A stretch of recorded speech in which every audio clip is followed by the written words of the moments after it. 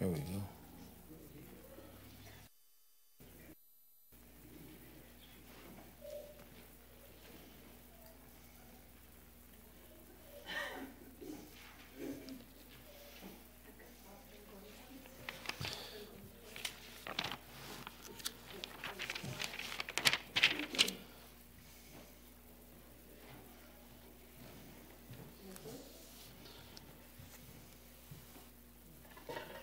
Oh, go ahead.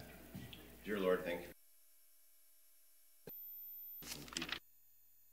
Class as well, and those that maybe have traveled, safety on the roads, I say in Jesus' name, amen. Amen.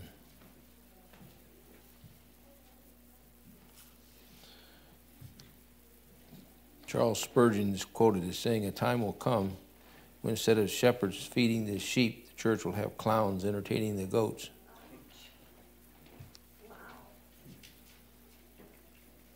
And he died in 1892. And uh, believe it or not, I have seen the day when they had clowns on the platform to get the kids in on the buses. Somebody brought in an elephant, an elephant on the stage, and it decided to relieve itself on the stage. Somebody said, Well, that's what you get for taking an elephant into church. But I'm afraid that we are, we have arrived, brethren. Ezra chapter 4 is a picture of the war against the work of God. Let joy and victory come, and you will find that the adversary is not too far away. And let's turn over to 1 Corinthians chapter 16 just a minute.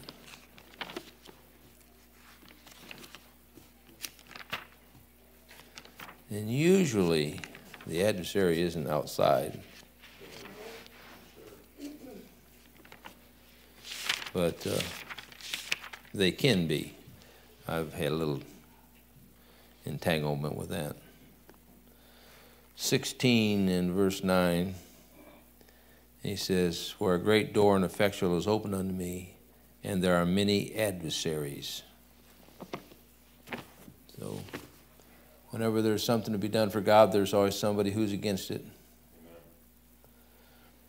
Uh, the adversaries are not just against anyone. Uh, if you look here, it says, Now the adversaries of Judah and Benjamin. Remember, those were the two tribes that didn't go north, those are the two tribes that stayed south. Jeroboam became their king, Rehoboam was in the north, and you remember he split things up because he wouldn't uh, give in to how you treat people. And of course, we know it was of the Lord that that happened, but it, happens. Verse 2 says, We seek your God as you do. The world wants to appear like they want to help, but they really want to do it, all they want to do is hinder. They are the adversaries. And if anybody knew, knew about that, it was Lester Roloff. Uh, the state came in and they wanted to help him and they wanted to do this and they wanted to do that, but it was under their rules and the regulations. And Lester said, We don't do things that way here. So he ended up going to jail and uh, they gave him a very hard time with his home. Verse 3 and 4 says, um, But Zerubbabel and Jeshua and the rest of the chiefs of the fathers of Israel said unto them, Ye have nothing to do with us to build a house unto our God, but we ourselves together will build unto the Lord our God as King Cyrus, the king of Persia, hath commanded us.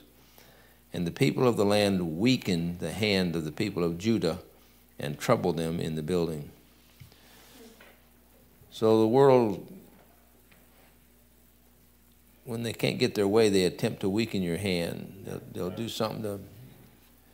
Um, we ran into a couple things here over the years in our building, but we got through it. But it's always somebody wanting you to do something that you can't do.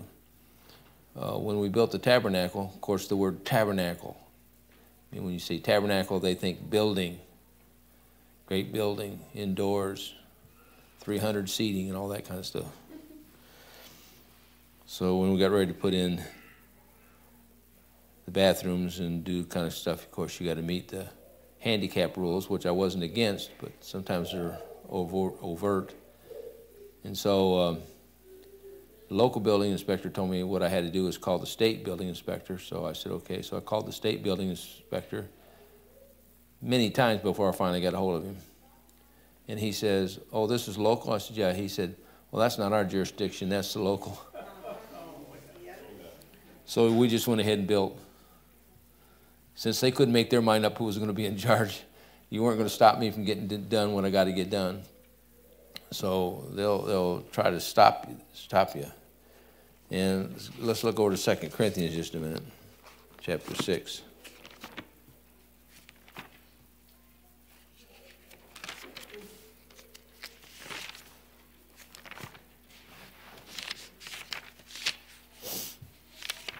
6. Of course, you, you're familiar with this, but just so we can see it. 14 says, 614. Be not unequally yoked together with unbelievers, for what fellowship hath righteousness with unrighteousness, and what communion hath light with darkness, and what concord hath Christ with Belial, and what part of he that believeth with an infidel, and what agreement hath the temple of God with idols? Just simple stuff here.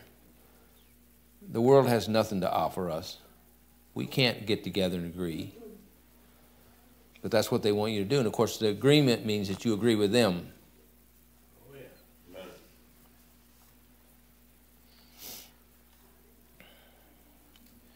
All right, verse 5. And they hired counselors. What they did is that's lawyers. And if there's anything that can drag things out and make it worse than what it is, it's a lawyer. Yeah. And I know there's probably a good lawyer somewhere, but I haven't found him yet. All right? And I don't speak ill of the Christian Law Association. I'm just simply saying when it comes to lawyers, and the trouble of it is sometimes the lawyer has to tell you what he has to tell you because that's the law. So sometimes you got to do what the law says. No matter what you say, brethren, we are controlled by the government. We, there's no way out of it. We're controlled by them.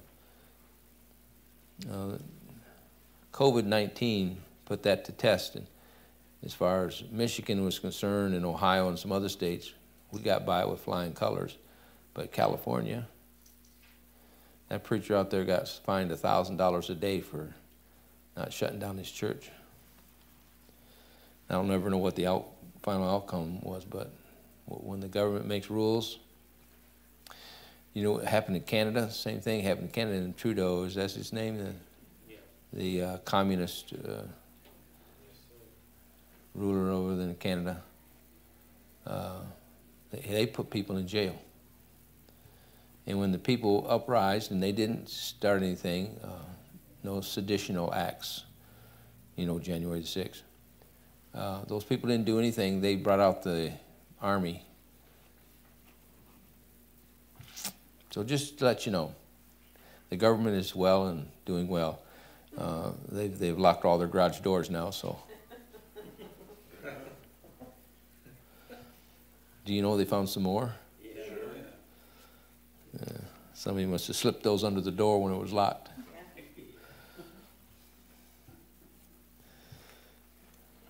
You know, if I didn't know the end was near, I wouldn't see it so funny, but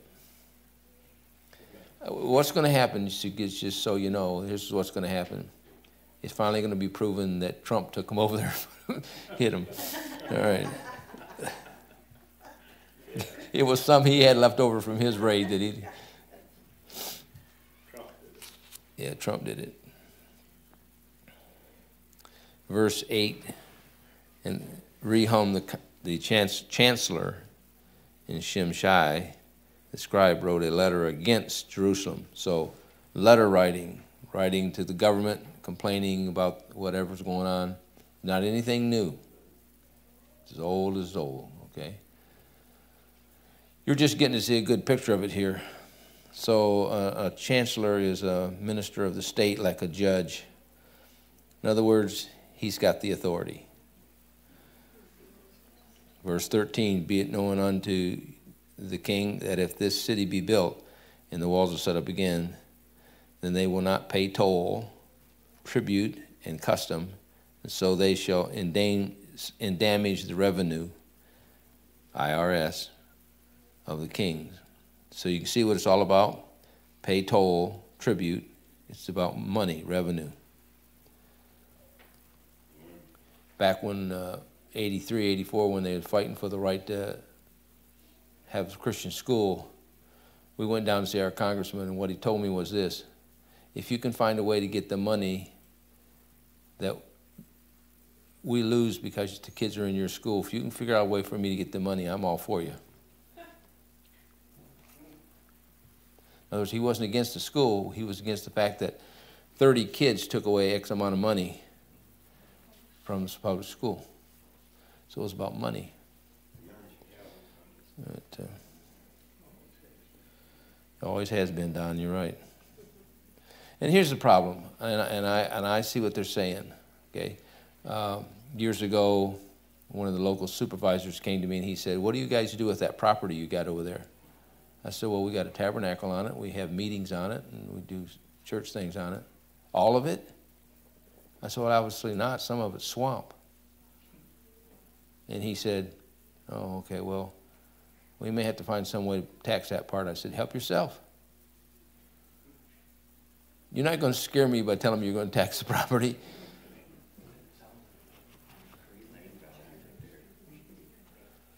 You understand what I'm saying? They, they're looking for some way to get the money because it's all about the money. Amen.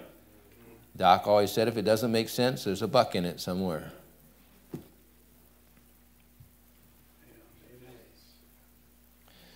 And then verse 15 that search may be made in the books of the records of the fathers, so that, that thou find in the book of the records and know that this city is a rebellious city and hurtful unto kings and, and province and that they have moved what? Sedition. What did Nancy say? Mm-hmm. See, if they can't get you legally, then they'll go after sedition. So I'd like to know what, I, and I want to write her a letter. I'd like to know what Nancy called 1776. What she call the fight against the British to have our freedom? What did she call that? Our fight to have freedom? Well, wasn't that sedition against the British government. Amen. She can't even face her own history and realize that she's a snake. So, to be seditious means to have language or conduct directly against public order and tranquility of the state. So, that's what they did, did they not? January the 6th, that's exactly what they did. They locked people up, and there's still people locked up that had nothing to do with it. They were just in the wrong place or the right place at the wrong time or the right time, whichever you want to do there. Chapter 5, verse 3. At the same time came Tataniah the governor of the, on this side of the river, and Shethar Bozni, and their companions, and said unto them, Who hath commanded you to build this built house and make up this wall? So the government never understands who gives the orders in the church. If you tell them, well, we're, we're building by what the Lord told us to do, where's He at? They don't understand that you can get orders from the Lord to do so. Because as being in charge, they only see one authority that's themselves. All we see is one authority, that's God. But they don't see that. if you tell them the answer, they don't believe you. Verse 16, then came Shethbar Bazar, Bazar, there we go, and laid the foundation of the house of God which in Jerusalem. And since that time, even until now, hath it been in building, and yet it is not finished. So he says, until now. In other words, they're there building now. Up to that point, it still hadn't been finished. Uh, the Jews stated in John 20, verse 20, remember that the temple was 46 years in building, so you know it wasn't this temple. So they're talking about a different temple. And uh, he wants to know, you know, how come it hasn't been finished? Chapter 6, verse 1. Then Darius the king made a decree, and search was made in the house of the rolls, where treasures were laid up in Babylon. And then verse 4 with three rows of great stone and a row of new timber and expenses are given out of the king's house. Excuse me? The expenses came from where? King's. The king's house. Isn't that the government? Amen. People say, oh, there shouldn't be a state, the government and the state shouldn't be. It is in the Bible. I would rather have the state for the church than against the church. Amen? Amen. I'd rather, I'd rather be on the side of the state, be, be safe, than be fighting against them. I'm not suggesting that we join it. I'm simply saying I'd just rather be like that. I mean, after all, this is Babylon, and they're getting their funds from the state to do what they got to do. You'll find out Nehemiah don't like that at all. 6 9 says, And that which they have need of, both young bullocks and rams and lambs for the burnt offering of God of heaven, wheat, salt, wine, and oil, according to the appointment of the priest, which are at Jerusalem, let it be given them day by day without fail. And they made sacrifice of the sweet savors of God in the heaven and prayed for the life of the king and of his sons. So again, here's a government situation. And I don't see anywhere the Lord saying that they shouldn't have done that. Yeah, I don't mind the state doing it as long as they're not telling me how I got to preach and what I've got to preach, what book I have to use. See, the, the problem is, is that in this situation, the state wasn't telling them what to do, they were just helping them out.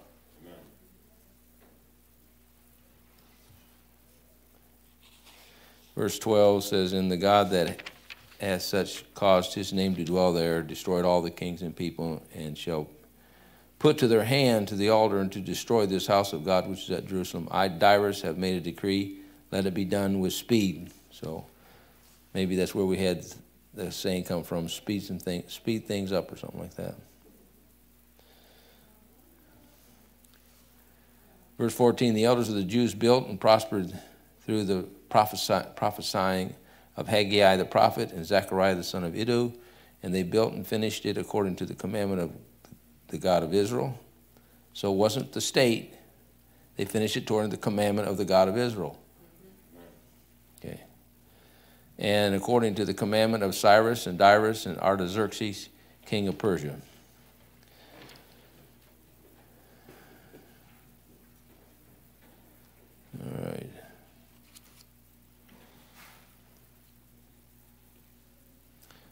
Chapter 7, verse 10. For Ezra had prepared his heart to seek the law of God and to do it and to teach in Israel statutes and judgments. So I just want to notice three things that uh, Ezra did in his prayer life here. He sought the law, that is, he studied it. And then to do it, that is, he practiced what he had learned, and then to teach it, in this case to Israelites. So our ministry is trying to get other people to understand what we're doing and helping them by praying for them, by teaching them, by showing them an example in our life how we live, so that they believe what we're saying. There's more to this here than when they look up the history of Israel, sure, it was a rebellious nation. Why? Because it was a, a, nation protecting itself. You could say it about Israel today, they're a rebellious nation. Yeah, they're protecting themselves. How come America isn't a rebellious nation? How come they don't say it about Cuba? Understand that the government picks who they want to slice. All right, verse 21. All the letters of our alphabet are in this verse except Z. See what's important about that? Not a thing. I just want you to See, that's a trivia, trivia note, all right? It's just nice once in a while to say, not a thing. And verse 22, another trivia information, that was that silver was worth about nine uh, or nine million six hundred thousand dollars. And a bath isn't what you take, a bath is about eight gallons. Trivia. Does what? Ezra's in there. Yeah, it has a Z. Oh, wait a minute. That should have been a J. I'm sorry. Don't blame the computer. I'm not blaming the computer. I'm blaming the little letter I wrote in there. Back when I had good eyesight, brother. Back when I didn't need a magnifying glass to see what that was. I should have looked the second time. All right, I'll change that. We're all looking for a J. Yeah. Sunday school class is up this way, folks. Good morning. Just come in and sit down. Help yourself. We're just finishing up our Sunday school class, so glad you glad you came. Thank you. Yes, it's the first time here. All right. Verse 23, Ezra 7, verse 23. Whatsoever is commanded by God of heaven, let it be done diligently for the house of God of heaven. For why should there be wrath against the realm of the king and his sons? So the king recognizes the power of their God, and he no doubt had heard what had happened to them, how God had brought them throughout the land, and so he wanted to let you know. So, verse 24. Uh, just simply this is one reason why churches are, will probably don't pay taxes and why pastors, if they want to, can exempt themselves from Social Security. All right, chapter 8, verse 18. And he says, By the hand, good hand of our God upon us, they brought us a man of understanding of the sons of Mahli, the sons of Levi, the sons of Israel, and Sherebiah, and his sons and his brethren, 18. Just simple here. Uh, see how important understanding is. Look at Proverbs 3 a minute. How important is understanding?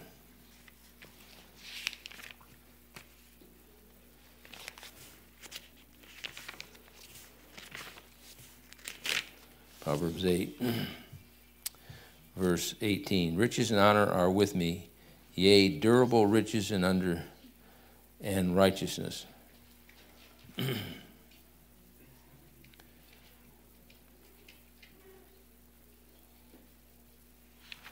Uh, I think I got, oh, Proverbs 3. Okay, I'm sorry. Proverbs 3, 19. I was going to say that's not reading right.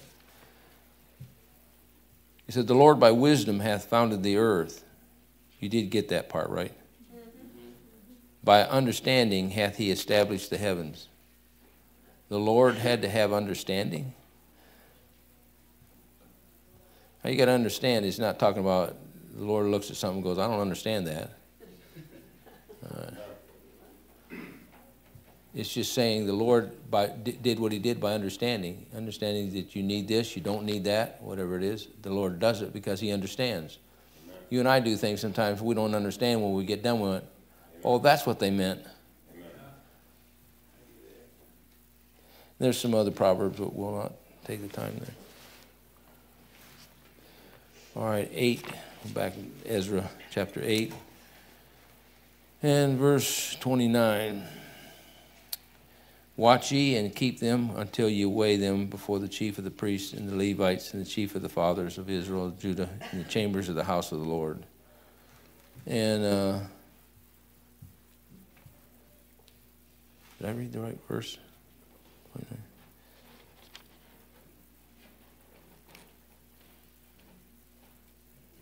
Oh, verse 28, not verse 29, verse 20. I got verse 28 or uh, 9, but it's verse 28. And he said unto them, Ye are holy unto the Lord, the vessels are, also, are holy also. And I just want you to see that the vessels in the temple were holy, but not only that, so were the priests. And we're supposed to be holy. Be holy as I am holy. We're supposed to be holy. Chapter 9, verse 1 And when these things were done, the princes came to me, saying, The people of Israel and the priests and the Levites have not separated themselves from the people of the lands. You know what's about to happen, right? Doing according to their abominations, even of the Canaanites, the Hittites, the Perizzites, the Jebusites, the Amor- Ammonites, Moabites, the Egyptians, and the uh, Amorites. If you go back, if you go back Genesis, you can, and you can get these uh, nations, or I'm sorry, uh, Deuteronomy 7, you get these seven nations again. So, what did God want his people to do? He didn't want his people to mingle with these people. Why? Because of their what they learn, what they do. Okay? he said, For they have taken the daughters for themselves and their sons, so that the holy seed hath mingled itself with the people of those lands. Now, can I tell you that verse 22, or those two verses, I should say, that I just read to you, are not accepted in this world we live in. They're unacceptable. The word, the, the fact that you would tell people you don't want to mingle with those people, and it's, it's more than just mingling with them because what happens when they get friendly with them, then next thing you know, they're marrying them. And that's what God didn't want. It wasn't anything about their color, wasn't anything about their nationality. It was all about their gods and what they did. And the Lord didn't want His people mixing themselves in with these tribes of people. Now, if you get on TV and say it today, you'll be thrown off. Probably be sued. So we're not to be a part of the world system. Separation is what the Lord wants.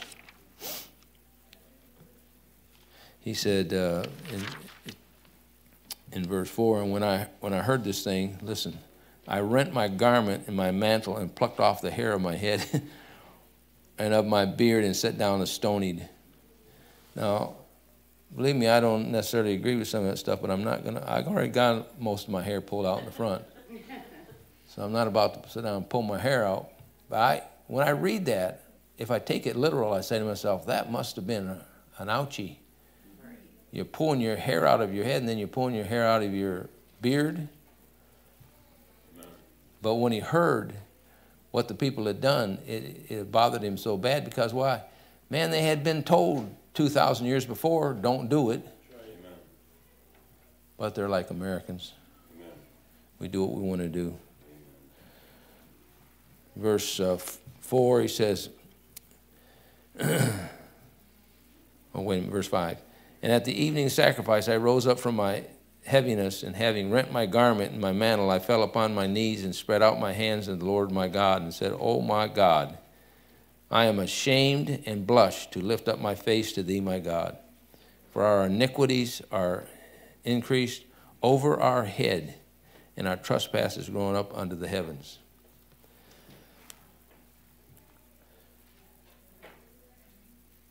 He's not happy with the report. When he found out what was going on, he wasn't happy. And if you get upset nowadays, people say, well, we have our right to do what we want to do. Maybe. 9, 8. And now for a little space, grace has been showed from the Lord our God to leave us a remnant to escape and to give us a nail in his holy place, that our God may lighten our eyes and give us a little reviving in our bondage. So if you compare that with Isaiah 22, 21 through 24, there's a, a hint, particularly in the end of the verse, to despair the desolate, repair, I'm sorry, the desolation thereof, and give us a wall in Jerusalem and in, Jude, in or Judah and Jerusalem. So there's a second Advent reference there, and you, you, I'm not going to take time to go through all of it. It's a number of scriptures, but I just wanted to throw it your way chapter 10, verse 1. When Ezra prayed, when he had confessed, weeping and casting himself down, I can say one thing about Ezra. He's serious about his praying. If you stop to think about your actions in prayer and compare to what his is, you realize we don't do much at all when we get ready to pray. Try to get in a comfortable position. He says, uh, before the house of God, there assembled unto him out of Israel a very great congregation of men, women, and children, for the people wept very sore. Well, I guess it's time to get the church involved in. Now the preacher's upset over what's going on, and he's pulled his hair out of his head. Now he's got the people upset at what's going on.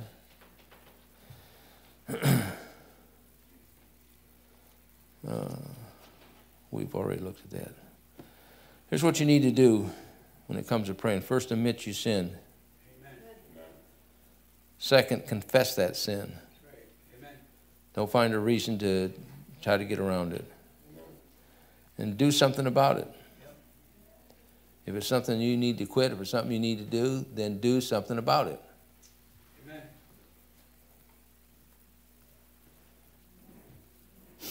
Right, chapter 10, verse 11.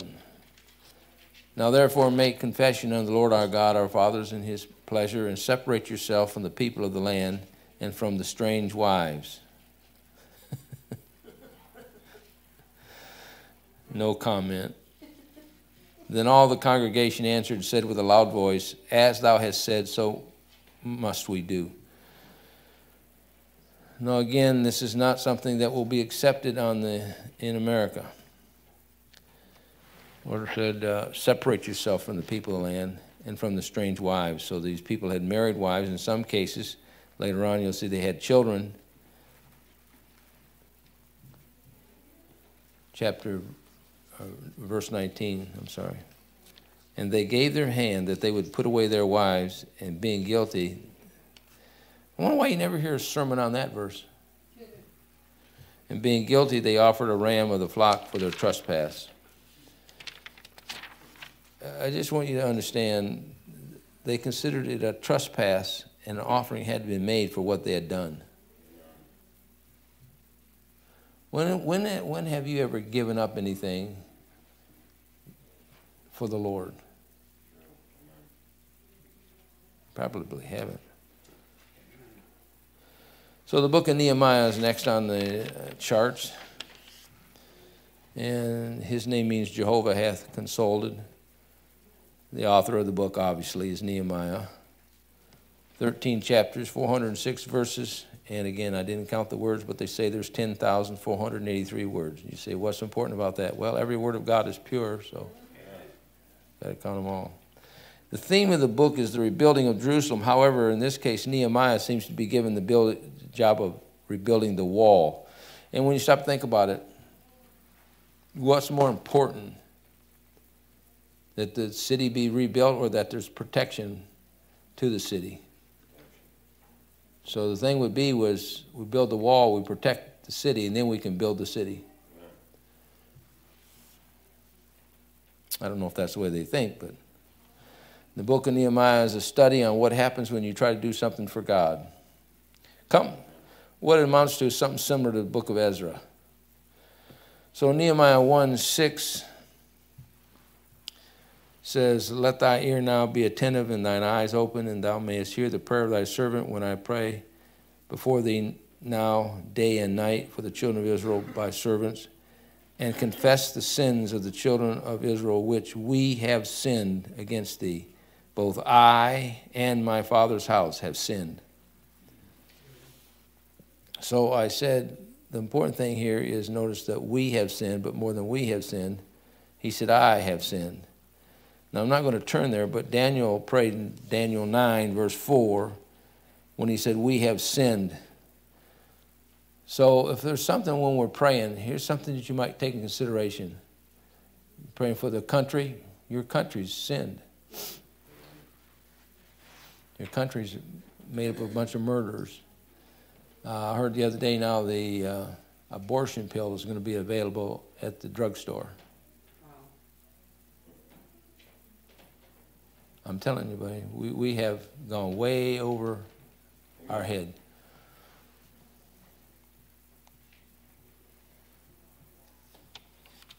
chapter 2, verse 4. And the king said unto me, For what dost thou make requests? So I prayed to God of heaven. We call this an on the spot prayer. Paul called it instant in prayer. In other words, there should be no point in time in your life where you can't at least say, Dear God, I need your help. Okay? And if your life gets so bad that you can't pray instantly, get right. verse 10. And when Sanballat the Horonite and Tobiah, Tobiah the servant, the Ammonite, heard of it, it grieved them exceedingly that there was come a man to seek the welfare of the children of Israel. So we're going to have about five or six of these things about the enemy. First of all, we see the grief of the enemy.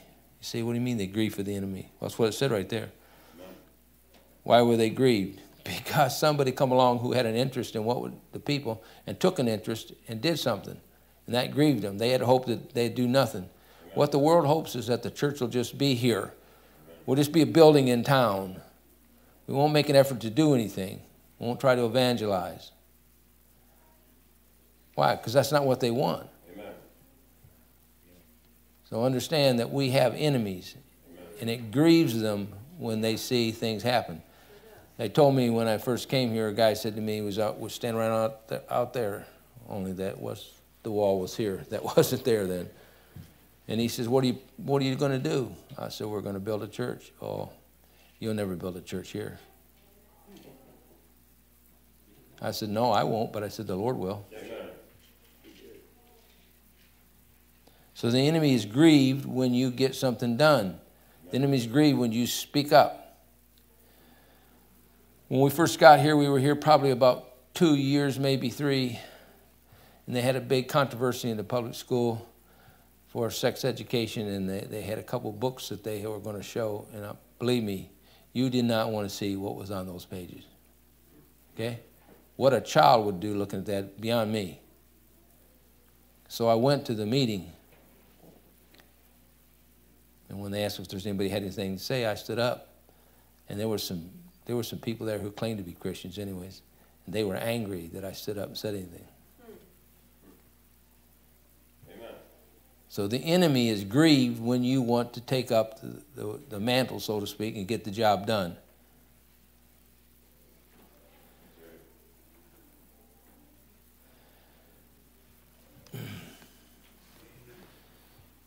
Chapter 2, look at verse 19. But Sanballat, the Horonite, and Tobiah, the servant, the Ammonite, and Geshem, the Arabian. Now we got the Arabians in there. Heard it, and they laughed us to scorn and despised us and said, What is this thing you do, you rebel against the king? Yeah. So you're against the government? If the government's not doing right, I am. Now, here's the laughter of the enemy. You first have the grief of the enemy, now you have the laughter of the enemy. And um, I don't know, hon, probably our first four or five years, probably, I suppose. We heard a lot of things via the gossip poll. And people laughed. If some of you would have seen the building then, you would have laughed, laughed too, to think that anything could come from that when it was rotten in the bottom and it was falling in, the walls were falling in, in the basement. And we jacked her up and built new walls, didn't we, Don? You helped lay the brick, or the block, I should say.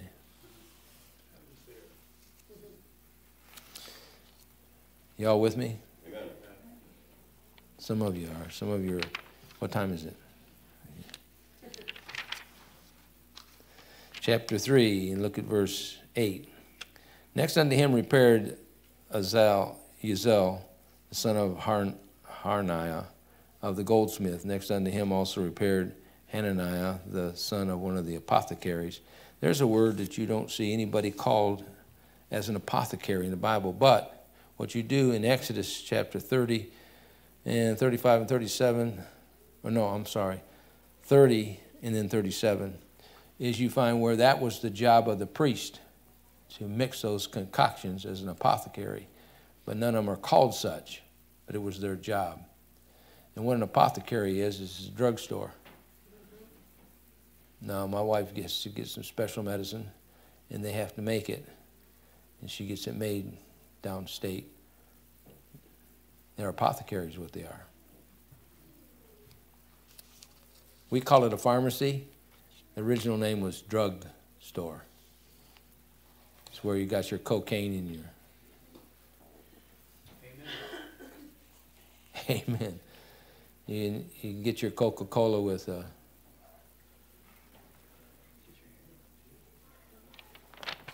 chapter 2.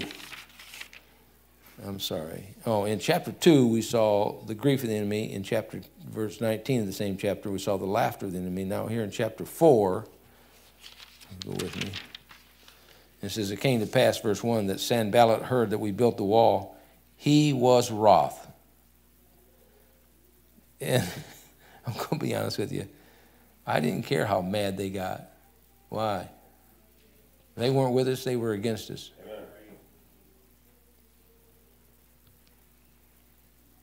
So he said, He was wroth and took great indignation and mocked the Jews. So here we have the wrath of the enemy.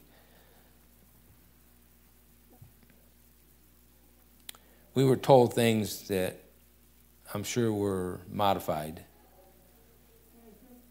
I'm sure we didn't get told the whole thing. But we were told things, you know, you can't do this and you can't do that.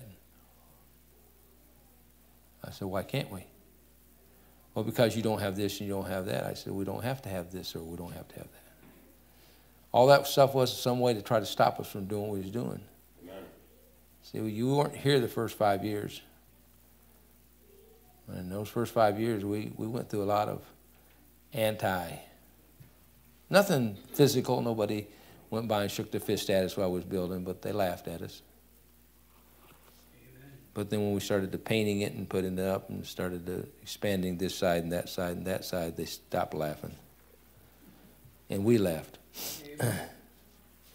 I put on here, they were torqued, as they would say, the things were going well. So people get upset when things go well. When things go bad, they, oh, we're, we're sorry to hear about that. But as soon as things are going well, like, well, you just, you're, you're probably not doing it the way you should be. I said, what would that be? Chapter 4, verse 2 And he spake before his brethren in the army of the Samaritans, said, What do these feeble Jews? So here's what they think they think the church is made up of a bunch of feeble people. If you don't believe me, ask them who they think should go to church women and children. Well, can I tell you something, just for the sake of the ladies? Do you know how this church started? Mm-hmm. It was about eight ladies that started this church, along with maybe one man. And those eight ladies gave of their tithes and offerings and helped the foundation's building. So don't you talk to me about the ladies. Amen. I'll slap you sideways. Amen. And then I'll let somebody else do the other side. I've had people say to me, say, well, it's just a bunch of women. I said, you know who built the church? You know who put the funds in here? You know when they showed up when it was 45 degrees in here and sat through an hour's worth of sermon? It was ladies that were old. So don't talk to me about the ladies. Besides that, I married one, so don't talk to me about that. Verse 3 Now Tobiah the Ammonite was by him, and he said, Even that which they build, if a fox go up, he shall even break down their stone wall. I saw a fox in town the other day, and he wasn't breaking out nothing except speed.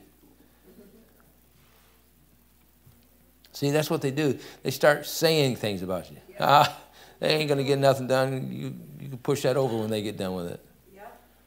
Now, when we started, yes, there was a pushover. Uh, one of our big pushers was Brother Dan. He'd get a two before, and boy, don't let Brother Dan give you two before. Of course, right now he's crippled. He probably couldn't do much, but he knocked a lot of wall, a lot of plaster, a lot of stuff out of here so we could. Uh, so here's verse 3. So this, this we have here is what, number 3 or 4, or I guess 3? The mocking of the enemy. Yes, we have 1, 2, 3, 4, yeah. The mocking of the enemy. And look what here. Look at the prayer. Hear, O our God, for we are despised, and turn their reproach upon their own head, and give them a, for a prey in the land of captivity. People say, well, you shouldn't pray bad things. Well, that's what he was doing. He said, Lord, fix them, let them get, be taken care of in their own country. Let them, let them be, let the enemy get them.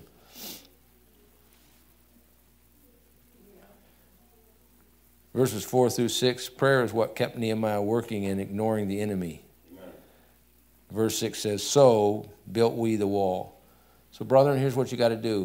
When you're trying to do something in your life and you're getting a lot of static, don't back down. Just keep going. Get in prayer mode. That'll help you get into prayer mode. And here's number five, verse 8. And conspired all of them together to come and to fight against Jerusalem and to hinder it. So here's conflict with the enemy. They finally get involved in it uh, physically. And we never had any of that that I recall, any physical contact, which I'm glad we didn't. we didn't need that. I did get threatened to get beat up a couple times by a fellow who stopped in on Thursday night service, and he was tanked.